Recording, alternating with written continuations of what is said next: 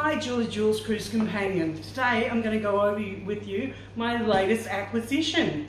Now I've got to say from the from the start I've got no skin in the game. I didn't purchase this. It's valued at about Australian dollars 300 Australian dollars. But I belong to a loyalty program where you exchange your loyalty points for products and this time I decided I would exchange it for a couple of suitcases. Yes, not one but two suitcases. So this is the Pierre Cardin PC246 65. So that's the 95 litre and this one's the 65 litre.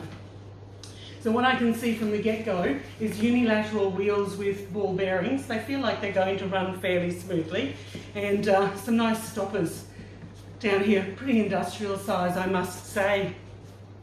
What I can see is a bit different from the High Sierra and the Kathmandu that I've looked at before are these harder sides. Even though it's made of material, it's uh, reinforced. It doesn't compress completely down. Here we go, we've got some side straps, the compression straps, but they don't have any hooks on them because it only opens from one side. So here are the hooks, and they're pretty big and they run fairly smoothly, so that's pretty good.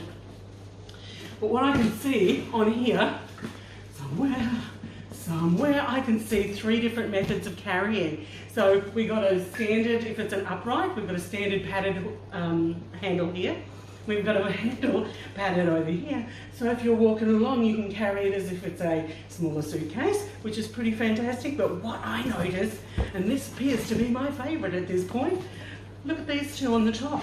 Pick it up, throw it in the back of the car, the taxi, throw it onto the uh, travelator. Oh, I'm looking forward to using those.